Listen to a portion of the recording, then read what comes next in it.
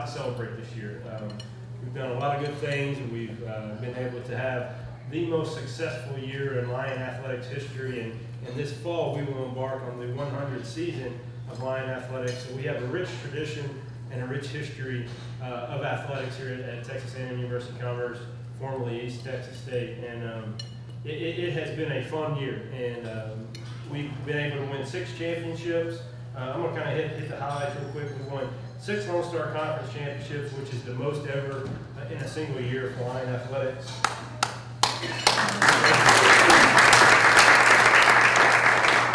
We've had 67 all Lone, Star Conference student athletes. Uh, we've had 13 Lone Star Conference all academic team players, two uh, Lone Star Conference academic player of the years. Uh, we've had 43 all region student athletes. We've had seven Lone Star Conference players of the year, so athletic players of the year in, in, in their respective sports. And we have 20, we've had 25 All-Americans this year. So uh, again, a lot to be proud of, uh, a lot of great things going on. In addition uh, to our on-the-field success, uh, we've had some great success in the classroom. Our, stu- our uh, overall GPA this year for, for athletics, for our athletes was almost a 3.0. We were just at a 2.8 this year for our entire department. So you're talking about 350 student athletes uh, achieving an average of almost a 3.0. Uh, we also we, we also achieved 2,500 hours of community service, and that's something that we talk about a lot uh, within our athletics department. Uh, I talk to our student athletes about it and our coaches. We talk about we want to be champions in everything that we do. We want to be champions on the on the competition service. We want to be champions in the classroom. We want to be champions in life. And when we talk about that and, and being a part of what we do and creating the culture of excellence that, uh, that, that, that, that we have that we've been able to achieve the success that we have is, is really because of that. And uh, we've got some great. But uh, we did have a good year. Had a, had a, as he talked about establishing a culture and, and just a winning culture. It's, it's, great to be back here and, and, and the direction that he's taking this thing and, and, with all the success you've seen this year with the championships, the six championships, it's just a great place to be right now as far as the win culture and, and you know, we talk about footballs here and tracks here and, and men's basketball. They've all had phenomenal years. They ended in, in getting hardware, getting rings, and so uh, that's where we're trying to take our, our program right now. Um, 14 wins this year and have a, have a lot of good pieces, a lot of key pieces coming back. So I'm very excited about some of our players. Our, our, freshman this year. They got freshman of the year in the conference. I led the conference in assist. Got a national recognition as far as an all-American freshman team. And so um, excited about the pieces coming in. Great recruiting class. One of my assistant coaches here, Coach Taylor, who did a great job as far as this, this working the phones, getting on the road, and getting players. And so couldn't be more excited to be back. Um, but as far as championships and things like that, I not there yet. These coaches are here, and, and, and I let I let these coaches get up and talk about that. But I appreciate Ryan um, hiring me and giving me the opportunity to be here this year, and, and uh, look forward to the success in the future.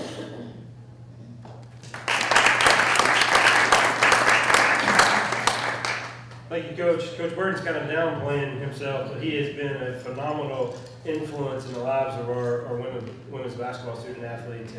And, uh, uh, next up, we're going to have the only Coach of the Year this year. Uh, you can sit down. Uh, coach Tom Dibbern, who is our head track and field coach. Uh, coach Dibbern has been named, was named twice the Coach of the Year. Uh, our men's team, men's uh, track team won both the indoor and outdoor conference championship this year. Finished 12th in the nation uh, from an indoor standpoint and 8th in the country from an outdoor standpoint. So Coach Dibbern, if you'll come on up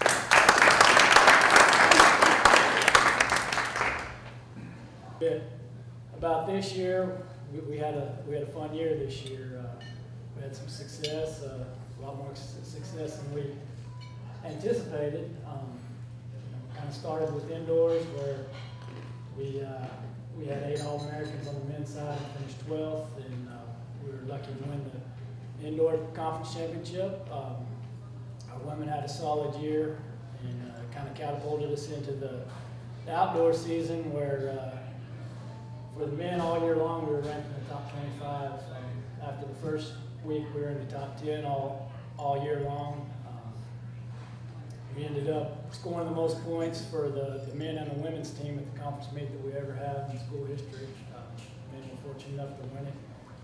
Um, We did it in San Angelo, that's where I came from, so it was kind of special to do it there, kind of fun. uh, Go back to San Angelo and, and do it on their, their uh, track there, but uh, men and women both had a great meet there. Um, The men finished the year ranked number one in the country, and to me, that's significant, significant because the, the rankings in track are based on actual marks throughout the year. So I think our men had the best regular season of anybody in the country. Um, We didn't win at nationals, but we were able to bring home thirteen more All-Americans on the men's side and finish in the top ten, so we were really proud of, of how it ended. Uh, Uh, next up, we're gonna have Coach Sam Walker, our head men's basketball coach, who is probably the longest tenured, uh, coach that we have. Uh, many of you know Coach Walker, uh, and his stories. Um, some are good, some are bad, some are. You never know what you're gonna get. Absolutely. You can hit it all. Kind of like a whatchamacallit, right? Something like that. All right, Coach Walker, it's going to be at a, uh, at an alumni event. Here we go back. I'm probably one of very few people at the university in any capacity that came to work there when it was East Texas State University. And I worked at East Texas State for five years before it became A&M Commerce in, in, uh, ninety-six. So through that, through that time, I've, I've seen quite a bit of change, as a lot of you have, coming back to campus. During that time, we have, uh, we won the regular season conference championship, the conference tournament championship, or regional championship six times. And, uh, but we hadn't since, uh, oh-five.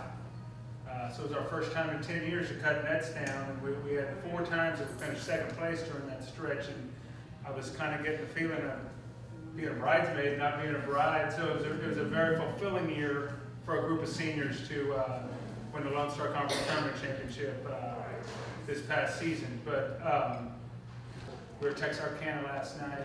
Uh, We're gonna make sure that our alumnus and the people that came before us, whether they were involved in athletics or not, uh, know what we're doing, and know what we're about, and know what kind of product that we're gonna put on the fields and on the courts. So, thank you very much.